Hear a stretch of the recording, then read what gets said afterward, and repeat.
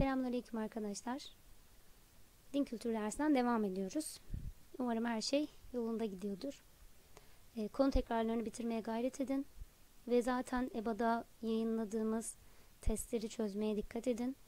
Testler, bol test çözmek sizi kurtarır. E, sadece LGS'de birinci dönemden sorumlu olduğunuz için tekrar birinci ünitelere döndük biliyorsunuz ki. Kader inancını yapmıştık geçen hafta. İzlemeyenler varsa mutlaka izlesin. Daha sonra bir tane daha video gönderdik. Ee, Hz. Musa Aleyhisselam'dan bahseden ve Karun'dan bahseden bir video. Onu da izlemeyenler mutlaka izlesinler. Zekat ve sadakadan devam edeceğiz. Öncelikle önemli kavramlarımızı göreceğiz. Sonra İslam dininde paylaşma ve yardımlaşmaya verilen önemi göreceğiz. Zekat ve sadaka ile ilgili tabii ki göreceğiz. Zekat nedir, kimlere verilir, kimlere verilmez, nelerden verilir veya zekatı kimler verir gibi e, konuları bahsedeceğiz. Sadakadan bahsedeceğiz. Zekat ve sadakanın bireysel kişiye faydalarından ve topluma faydalarından bahsedeceğiz. Bir peygamber tanıyorum da Hazreti Şuayb Aleyhisselam'dan, surelerden de Maun suresinden bahsedeceğiz. Evet bu kavramlar bizim ünitemizde önemli olan kavramlar. Bunları not alırsanız tek tek anlamlarını yazarsanız sizin için iyi olur. Zaten ünitede de bahsedeceğiz. Evet öncelikle İslam dini paylaşma ve yardımlaşmaya önem verir. Görüyorsunuz burada meslek grupları var. Bu meslek grupları birbirleri olmadan olmaz arkadaşlar. Mesela bir ahçı olmadan bir doktor tam olarak kendisini rahat hissedemez. Neden? Doktor kendi işini yapacaksa elbette bir ahçıya da ihtiyaç duyabilir ya da kendi yemeğini kendi yapar değil mi? Veya bir pilot olmadan biz bir yerden bir yere gidemeyiz. Ona da ihtiyaç duyarız. Veya bir öğretmen olmadan bir doktor, bir mühendis yetişmez. Bu sebeple bütün meslekler birbirine ihtiyaç duyduğu gibi bu ne demek oluyor? İnsanlar da birbirlerine muhtaçtır arkadaşlar. ihtiyaç sahibidir. Sosyal bir varlıktır insan biliyorsunuz ki. Yani sosyal hayatta yaşayabilen bir insandır. Tek başına insan yaşayamaz.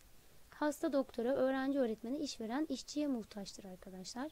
Ee, tabii ki bu toplumu ayakta tutan yani birlikte dayanışmayı sağlayacak şey de sevgi, saygı ve adaletle gelişir. Bu e, bu hasletler yani olması gereken bu özelliklerin olmadığı yerde kin, nefret, düşmanlık artar. Allah muhafaza. Evet. Öncelikle Kur'an-ı Kerim'e göre yaratılış amacımız kulluk tabii ki. Kulluk neyi gerektirir? Sorumluluklarımızı gerektirir. Sorumluluklarımız neye ayrılır? Üçe ayrılır arkadaşlar. Allah'a karşı sorumluluklarımız, kendimize karşı sorumluluklarımız ve sosyal çevremize karşı sorumluluklarımız. Bunları kim sağlar? İyi bir insan, iyi bir Müslüman sağlar arkadaşlar. Sosyal sorumluluklarımız. Evet. Bu sebeple yardımlaşma ve paylaşmada e, dinimizde de çok önemli bir yere sahip. Allah'a inanan ve onu seven kul onun yarattıklarını da sever ve onlara da merhametli davranır. Biliyorsunuz ki hadisi şerifte insanlara merhamet etmeyene Allah da merhamet etmez buyuruyor Peygamber Efendimiz. E tabii ki bu yardımlaşmaya nereden başlayacağız?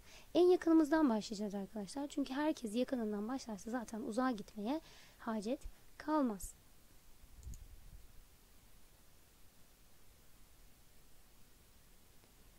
Paylaşma ve yardımlaşma insanı cimrilik ve bencillikten korur. Ne demek cimrilik? Eli sıkı demek. Bencillikte hep ben yani hep ben diyen insan bencil insandır. Bu sebeple e, paylaşan ve yardımlaşan insan bencillikten uzak durur. Dinimiz bu konuda Peygamber Efendimiz'e örnek alır.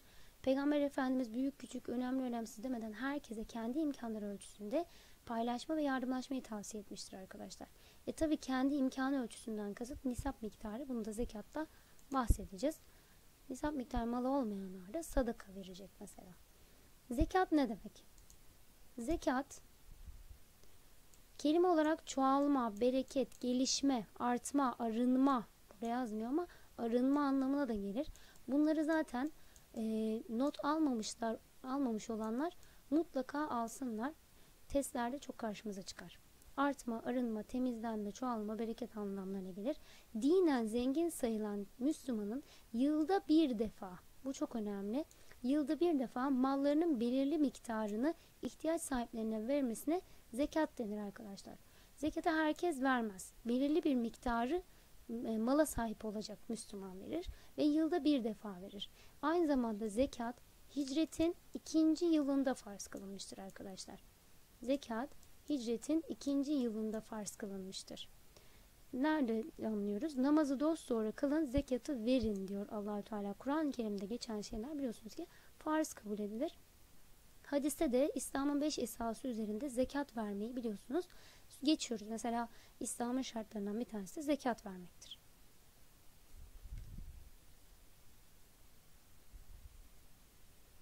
Evet. Paylaşma ve yardımlaşmanın diğer adı bir adı da infak. İnfak nedir? İnfak yine aynı e, zekattaki gibi harcama yapmak ama ihtiyacı olanlara. Müslümanın Allah rızasını kazanmak için burada çok önemli maksat Allah rızası olmak zorunda.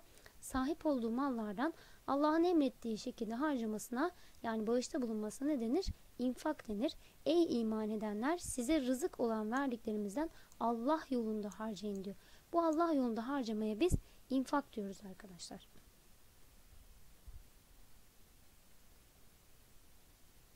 Kelime olarak sadakaya bakacağız. Sadaka doğru söylemek, verdiği sözü durmak.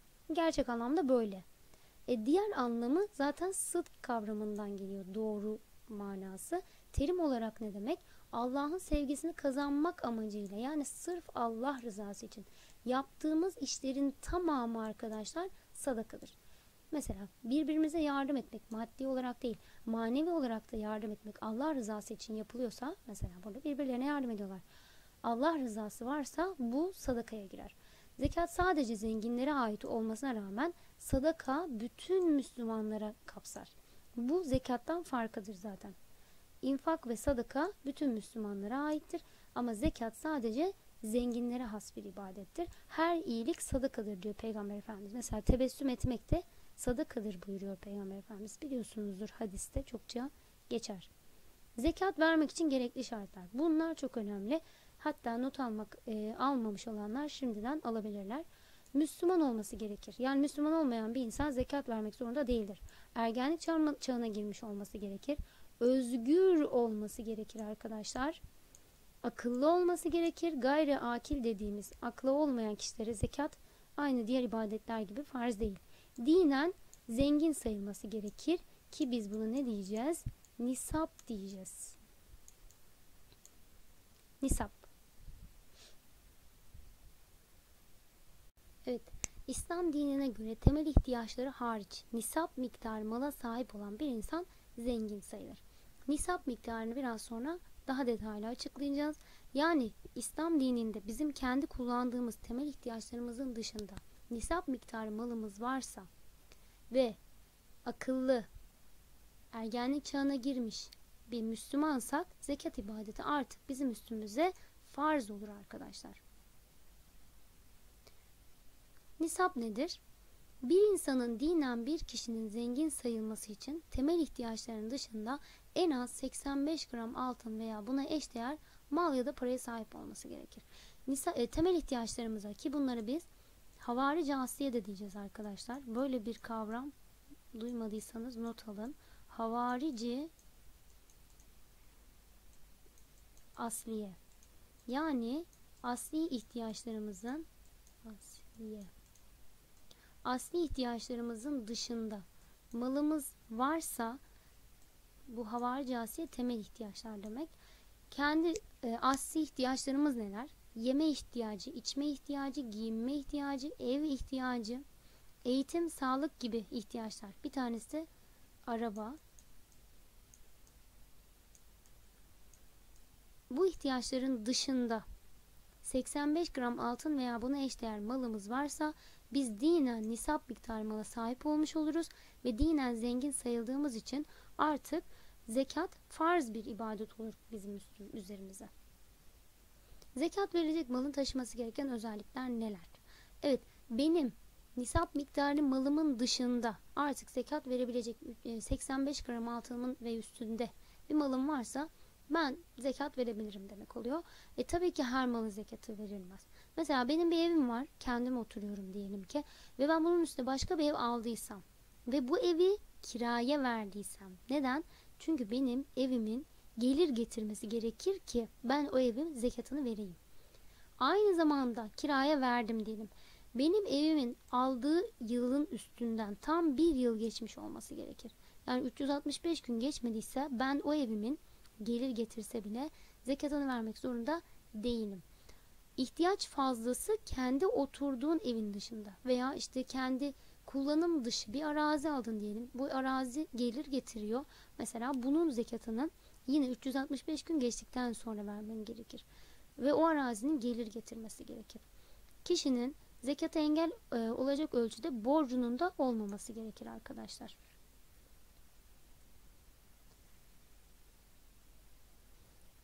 Nelerden zekat verilir?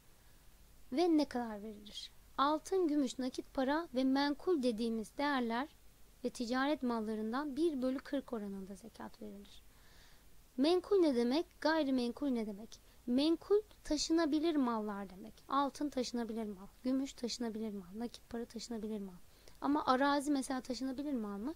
Değil. Ben araziyi bir yerden başka bir yere koyamam. Mesela ben Arnavutköy'den bir arazi alıp gidip de Beyoğlu'nda veya işte Boğaz'ın karşısına yerleştireyim diyebiliyor muyum? Diyemiyorum. Böyle bir şey mümkün olmadığı için gayrimenkul sayılır. Menkul taşınabilir demek, gayrimenkul taşınamayan demek. Bu mallardan menkul değeri sahip veya nakit para, altın, gümüş gibi mallarım varsa 1 bölü 40 oranında zekat vermem gerekir. Mesela 40, bölü, 40 milyar paran var diyelim nisap miktarının dışında sen 40 milyarının 1 milyarını zekat olarak vermen gerekir. Koyun keçi küçük baş hayvanda yine 1 bölü 40 oranında zekat verilir. E tabii ki bunun detayları var. Şurayı sileyim mi? Daha detaylı yazmak için göstermiştim ama silelim. 40'ta 40'tan 120'ye kadar bir koyun, 120'den 200'e kadar da iki koyun zekat verilir. Neymiş? 40'tan 120'ye kadar bir koyun, 120'den 200'e kadar iki koyun zekat verilir. Hocam bu kadar detaylı bilmek zorunda mıyız? Şimdi LGS konusu artık birinci dönemden sorumlu olduğunuz için bu kadar detaylı bilmek zorundasınız arkadaşlar. İkinci dönem olsaydı zorunda değilsiniz diyebilirdim belki. Ama artık zorundasınız çünkü detaylı sorular karşınıza gelebilir. Keşke dememek için bugünü kaçırmayalım ve bunları ezberleyelim. 40'dan 120'ye kadar bir koyun, 120'den 200'e kadar iki koyun. Mesela benim diyelim ki 61 tane koyunum var. Trabzonlularda. 61 tane koyunum var. O zaman ben 120'ye kadar olmadığı için bir koyun vereceğim. Diyelim ki 55 koyunum var bir Samsunlu olarak. O zaman yine bir koyun vereceğim. Ama diyelim ki 199 tane koyunum var. 2 tane koyun vereceğim. Bunların sayıları bu sebeple önemli. Sığır manda dediğimiz büyükbaş hayvanda arkadaşlar 30'da bir oranında zekat verilir. 30'dan 40'a kadar 2 yaşında buzağı bir tane. Bir tane. Yine 41'den 59'a kadar bir tane 3 yaşında buzağı verilir. 30'da bir diye ezberleseniz olur. E tabii ki detay bilmekte her zaman fayda vardır. Devede 1 bölü 5 oranında bir tane koyun veya keçi. Toprak ürünlerini biz ikiye ayırmıştık. Neden ikiye ayırmıştık? El ile sulanan yani özel bakım isteyen ve özel bakım istemeyen ürünlerimiz var. Mesela domates çok bakım ister veya biber. Bu sebeple el ile sulanan ürünlerimiz 1 bölü 20, el ile sulanmadan kendi kendine yetiştirilebilen ürünlerde de 1 bölü 10 oranında zekat verilir. Nasıl aklınızda tutabilirsiniz? 1 bölü 20 mi büyük 1 bölü 10 mu? Evet sayısalcılar tabii ki cevap verirler ama sözelcileri şu an duyar gibiyim. Ne bileyim hocam nereden bilelim gibi. Şöyle düşünelim. Büyük bir pastamız var. Ona bölüp bir dilimini alsak mı bize büyük pay gelir? 20'ye bölüp bir dilimini yesek mi bize bir büyük bir pay gelir? 20'ye bölüp bir dilimini yersen küçük pay yemiş olursun ama onda birini yersen daha büyük pay yemiş olursun. Bu sebeple kendi kendine yetiştiren ürünler daha az hizmet gerektirdiği için büyük pay veriyoruz. Ama el ile yetiştirdiğimiz ürünler zahmet gerektirdiği için zekatı daha küçük, minimalist düzeyde vermiş oluyoruz. Buradan aklınızda tutabilirsiniz. Madenleri görmedik kitabımızda. Detaylı yok ama detay bilmekte fayda olduğu için burayı önemli. 1 bölü 5 oranında %20 oranında zekat verilir arkadaşlar. Geçiyoruz. Burada zekat kimlere verilir? Adlı çalışmamız. Yoksullara verilir. Yoksul nedir? Nisap miktarından az malı olanlara, fakir de denir insanlara zekat verebiliriz. Miskin dediğimiz hiç malı olmayan kimselere zekat verebiliriz. Zekat memurlarına verebiliriz ki bunlar zaten devlet adına çalışır, ihtiyaç sahiplerine götürür zekatları teslim eder. İslam'a ısındırılacak olan yani Müslüman olmamasına rağmen kalbi İslam'a ısındırılacak kimselere zekat verilir. Kölelere verilir, borçlulara verilir, Allah yolunda olanlara verilir. İlim öğrenmesi için çalışan öğrenciye verilir. Yolda kalanlara zekat verilir. Zengin olsa da yolda kalan parasız bir insana zekat verebilirsiniz arkadaşlar. Evet zekat kimlere verilmez? Bu önemli. Zekat şöyle yapalım. Bizim üst hısımlık ve alt hısımlık dediğimiz kısma zekat veremeyiz. Ne demek? Bir e, karı koca birbirine zekat veremez. Çünkü birbirine bakmak zorundadır. Karı koca birbirlerinin anne babalarına da zekat veremez. Çünkü onlarla bakmak zorunda oldukları için verilen para zekat sayılmaz. Dedesine ninesine bakmak zorunda olduğu için verilen para zekat sayılmaz. Bu sebeplere bunlara zekat verilmez. Zaten onlara bakmak gerek, bakması gerekir.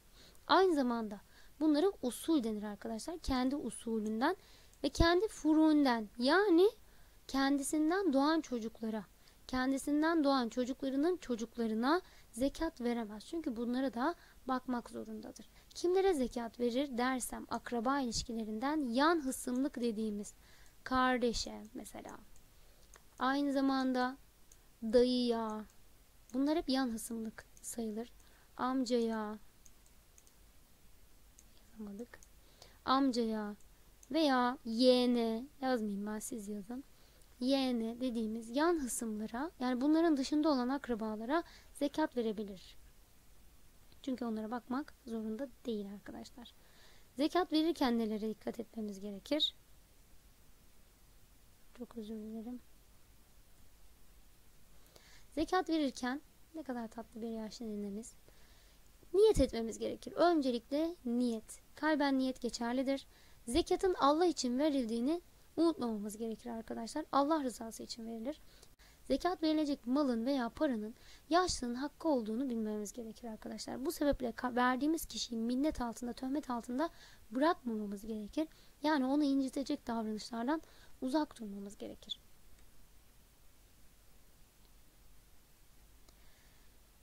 Gösteriş ve büyüklenmeden uzak duracağız. İnsan onur ve kişiliğine zarar verme, vermeden uzak duracağız. Kötü şeylerden vermeyeceğiz. Kendi beğenmediğimiz şeyi mesela zekat olarak veremeyiz. Alçak gönüllü olacağız. Anlayışlı ve hoşgörülü olacağız. Mümkünse gizli vereceğiz arkadaşlar zekatı. Ama verirken tabii ki niyet unutmamamız gerekiyor. Sadakaya geçelim.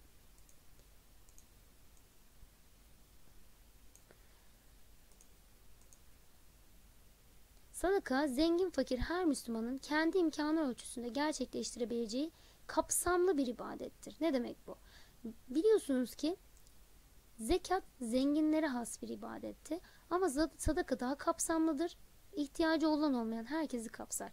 Çünkü zekat sadece zekat sadece maddi bir ibadet olmasına rağmen sadaka sadece maddi değildir. Manevi manevi ibadetler de manevi olarak yapılan sadakalar da vardır. Mesela nedir? Birisinin elinden tutup ayağa kaldırmak veya gülümsemek, tebessüm etmek sadakadır. Bir insanın poşetlerini taşımak da sadakadır. Sırf sen onu Allah rızası için yapıyorsan sadaka kapsamındadır. Namaza gitmek için atılan her adım sadakadır. Güzel söz sadakadır. Yoldaki rahatsızlık veren şeyleri kaldırmak sadakadır. Bunlar hadis arkadaşlar. Bu sebeple gönlünüz ferah olsun. Fıtır sadakasından bahsederim. Fıtır sadakası deyince aklımıza Ramazan gelecek. Neden? Çünkü fıtır sadakası Ramazan'a has bir ibadettir. Buna biz fitre de diyeceğiz. Fidye ile karıştırmayın. Bu çok oluyor. Lütfen ama lütfen fidye ile karıştırmayın. Fidye oruç tutamayan insanların verdiği miktardır. Bir insan hastaysa, oruç tutamayacak düzeyde hastaysa bu insanın günlük yiyecek miktarı kadar e, ver, verdiği paraya fidye denir. Fitre ise Ramazan ayında Müslüman bir insanın bireysel olarak verdiği vacip bir ibadettir. Mesela Ramazan ayında çok duyarsınız. Fitrelerinizi verdiniz mi diye. İlk olarak bilmemiz gereken fitrenin vacip olduğu. Bu çok önemli. Aynı zamanda ikinci olarak da fitre kişi başına verilir. Aile üyeleri diyelim ki 4 kişisiniz. Fitre miktarı bir insanın bir günlük yemek masrafını kadardır arkadaşlar. Bu Diyanet İşleri tarafından genellikle hesap edilir. Atıyorum diyelim ki 15 TL'ye bir insan bir günde doyuyor. doyuyor. Biraz zor ama. Diyelim ki 15 TL. Aileniz 4 kişi diyelim. O zaman bu insanın 60 TL fitre vermesi gerekir. Kime? Zekat verecek kişilere aynı zamanda fitre de verilir. Zekat verilmeyecek kişilere aynı zamanda da fitre de verilmez. Bu önemli. Fitrenin verebileceği kişiler zekat verebileceği kişilerle aynıdır arkadaşlar. Veremeyeceğin kişiler mesela anne baba usul ve furu dedik ya biraz önce çocuk torun bunlara da zekat veremeyeceğin gibi fitre de veremezsin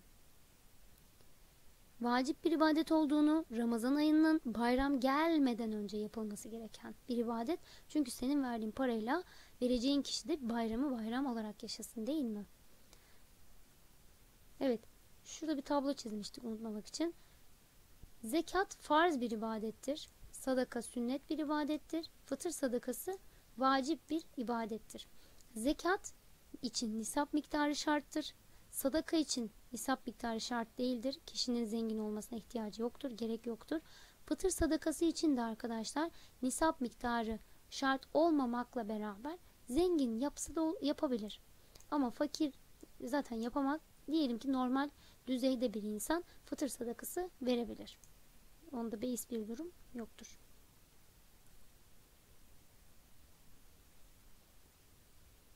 Sadakayı cariye çok önemli. Pey Peygamber Efendimizin hadisi şerifi var.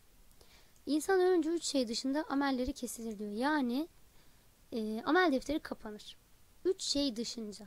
Bunun üç şey arkadaşlar amel defterinde hala yazılmaya devam eden ibadetlerdir. Sadakayı cariye yani kesintisiz sadaka demek. Kesintisiz olması öldükten sonra da sevap kazanmaya devam eden ibadetlerdendir. Kendisinden faydalanan ilim, kendisini dua eden hayırlı evlat. Birincisi sadakayı cariye bu üç şeyden. İkincisi kendisinden faydalanılan, faydalanılan ilim. Üçüncüsü, üçüncüsü de hayırlı evlat. İnşallah hayırlı evlat olmuş oluruz hepimiz. Ee, bu üç şeyin dışında amel defteri artık yazmaz. Kalem durur. Ama bu üç şeyde hala kalem yazılmasına, sevap kazanılmasına devam eder. Karşılaştıkları dayanılmaz sıkıntıdan ötürü ülkemize sığınan göçmenlere mesela halkımızın gösterdiği merhamet ve yardımseverlik de infak türüne girer. E, sadaka cariyi biraz daha açmak gerekirse arkadaşlar e, kesintisiz sadaka mesela yurt yaptırmak. Mesela hastaneler yaptırmak. Bunlar sadakayı cariyeye girer. Ee, insanların faydalandığı şeyler olduğu için mesela ağaç dikmek de yine sadakayı cariyedir. Kişi ondan meyveler yedikçe e, diken ağacı diken insana sevap gelmesi gel, gelmeye devam eder. Vakıflardan bahsedelim. Çünkü vakıf da yardımlaşma kurumudur. Biliyorsunuz ki konumuz yardımlaşma ile ilgili. İslam'a göre helal kabul, kabul edilen mallardan faydalanma hakkı Allah rızasını umarak toplumun kullanımına, hayır kurumlarına vakıf denir arkadaşlar. Atalarımız tarih boyunca biliyorsunuz ki bir sürü vakıf kurmuştur.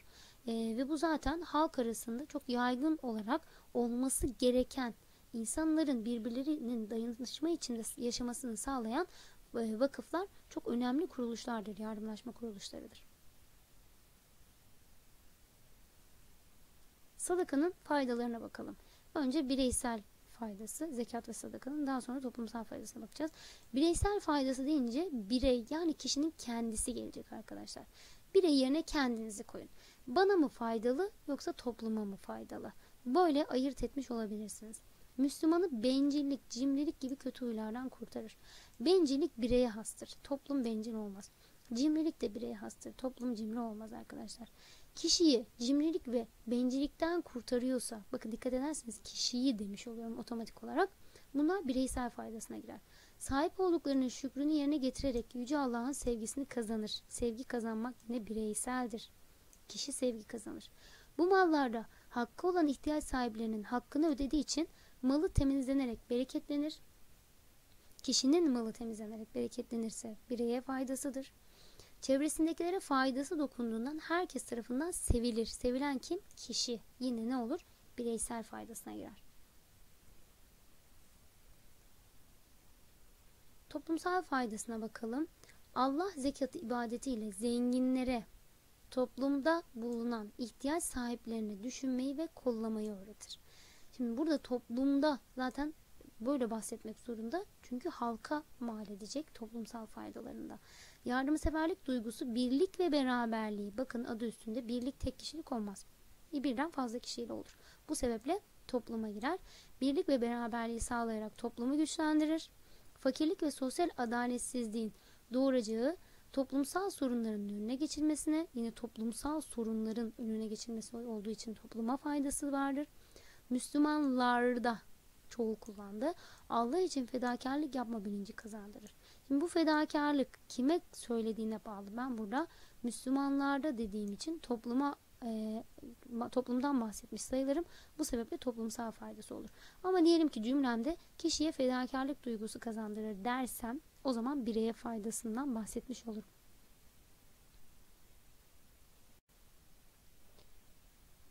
Evet böylece zekat konusunu bitirmiş olduk.